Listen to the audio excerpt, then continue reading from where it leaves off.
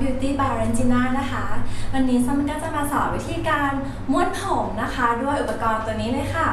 อันนี้นะคะก็จะเป็น l e s a c h a Power 4 Plus นะคะ ซึ่งวันนี้ซัมจะมาใช้กับหัวแปรงแบบนี้ค่ะ อันนี้ก็จะเป็นหัวแปรงสำหรับการม้วนเพื่อเพิ่มวอลลุ่มให้กับเส้นผมนั่นเองนะคะ ซึ่งอุปกรณ์ตัวนี้เนี่ย ส้มยังไม่เคยทำรีวิวเลยวันนี้ก็เลยจะเอามาลองทำให้ดูกันนะคะ หัวแปรงแบบนี้จะช่วยเพิ่มวอลลุ่มให้กับเส้นผมโดยเฉพาะคนที่มีผมที่เหมือนกับว่า ผมที่รีบแบนดูไม่มีน้ำหนักนะคะ ตัวนี้ก็ช่วยให้ผมมันดูฟูขึ้นดูแบบดูหนาขึ้นนั่นเองนะคะ ก็เดี๋ยววันนี้จะมาใช้หัวแปรงนี้นะคะ ม้วนผมเป็นการม้วนข้าวนั่นเองนะคะ ก็เดี๋ยวมาดูกันนะคะว่า ถ้าใช้อุปกรณ์ที่เป็นหัวแปรงแบบนี้จะออกมาเป็นยังไงค่ะ ค่ะ เดี๋ยวเราจะมาเริ่มกันเลยนะคะ วิธีการนะคะ จะบอกว่าถ้าเป็นการม้วนเข้านะคะ เราจะให้ตัวอุปกรณ์นะคะหัวแปรนะคะ อยู่ใต้ผมลักษณะแบบนี้นะคะ จากนั้นเราก็จะลูดลงมา แล้วก็ม้วนม้วนปลายผมเก็บเข้าอย่างนี้ แล้วก็ทำการม้วนขึ้นนะคะ แล้วก็แช่เอาไว้แล้วก็ดึงลงมา พื่อให้เก็บปลายผมเข้าแบบออกกับแปลงให้หมดนะคะ แล้วก็ม้วนขึ้นไปแล้วก็ดึงลงมาเพื่อที่เป็นการเหมือนไดย้ำอะค่ะถ้าใครเคยไปไดผมที่ร้านแบบไดฟาร่าหรือไดม้วนเข้าอะไรอย่างเงี้ยคือเขาก็ใช้เทคนิคแบบนี้เหมือนกันค่ะก่อนอื่นนะคะ เราก็จะต้องเปิดเครื่องก่อนนะคะกระดันตรงนี้ขึ้นนะคะเครื่องจะเปิดแล้วก็อย่าลืมกดปุ่มโทรมาดีตรงนี้ด้วยนะคะ แต่ว่าก่อนอื่นเนี่ยต้องแบ่งผมก่อนนะคะ เพื่อที่จะได้ทำให้เราทำผมได้ง่ายขึ้นนั่นเอง เดี๋ยวจะแบ่งทีละครึ่งนะคะเราจะทำผมข้างในก่อนอ่ามันก็จะเก็บไว้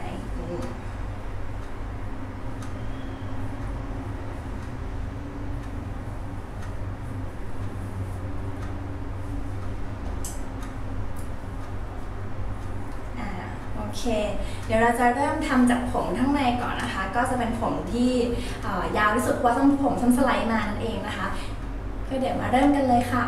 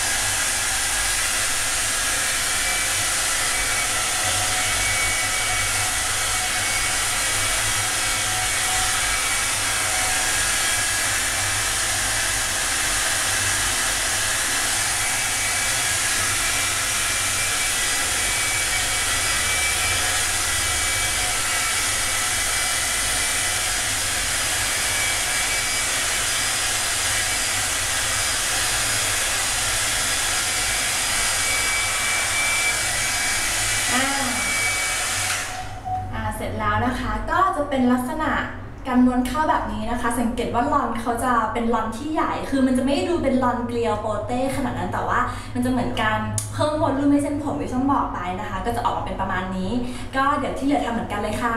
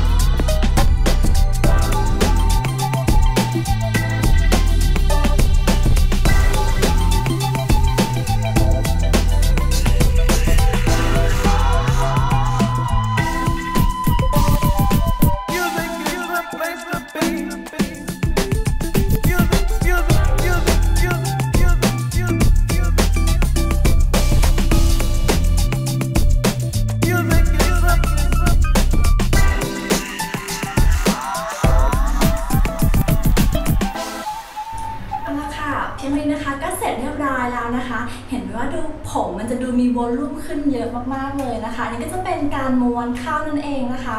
ถ้าใครที่ผมสไลด์มาแบบผมส้มเนี่ยนะคะ ก็จะเห็นว่ามันจะเป็นการ ม้วนแล้วผมมันจะเข้าเป็น layer เป็นชั้นๆ แบบนี้นะคะ มันก็จะดูมีมิติมากขึ้นนะคะ ก็เป็นอีกทรงหนึ่งที่ทำได้ง่าย ๆนะคะ กับอุปกรณ์ตัวนี้เลยค่ะเรือซาชา Power 4 Plus นั่นเองนะคะ ค่ะแล้วก็เพื่อที่จะทำให้เส้นผมดูมีความเงางาม แล้วก็ดูมีวอลลุ่มมากยิ่งขึ้น จัดแต่งทรงง่ายขึ้นนะคะส้มก็จะใช้ตัวนี้เลยค่ะ อันนี้ก็จะเป็นของยี่ห้อ Lucido L นะคะ เป็นแว็ก จัดแต่งทรงผมนั่นเองค่ะ ซึ่งสูตรสีฟ้านี่ก็คือจะเป็นสูตรที่เขาบอกว่าจัดทรงทั่วไปให้ดูพริ้วไหวเป็นธรรมชาตินั่นเองนะคะ ก็วิธีใช้เราก็จะแตะมานิดเดียวพอแค่นี้นะคะไม่ต้องเยอะมาก หลังจากนั้นนะคะเราก็จะมาถูกับฝ่ามือจากนั้นก็เอามาขย้ำกับเส้นผมแบบนี้นะคะอ่าปั๊บก็เราจะรู ประมาณช่วงปลายผมที่เราได้ทำการม้วนนะคะ นี่ เห็นไหมคะผมมันก็จะดูอ่ามันก็ดูมีวอลลุ่มแล้วก็ดูเห็นเส้นโค้งของเส้นผม จากที่เราได้ม้วนเมื่อสักครู่นี้ชัดขึ้นนั่นเองนะคะ ก็ยังไงก็ฝาก วิธีการม้วนผมแบบนี้ให้เพื่อนๆได้ไปลองทำกันดูนะคะ หวังว่าคงจะไม่ยากจนเกินไปเนาะแล้วก็เดี๋ยวไงพบกันในรีวิวครั้งหน้าแล้วกันนะคะ มาดูซิว่าส้มจะมาสอนทรงผมอะไรต่อไปค่ะ วันนี้ก็ต้องขอขอบคุณมากๆนะคะ ที่ติดตามชมค่ะ แล้วก็พบกันใหม่ในครั้งหน้าค่ะ สวัสดีค่ะ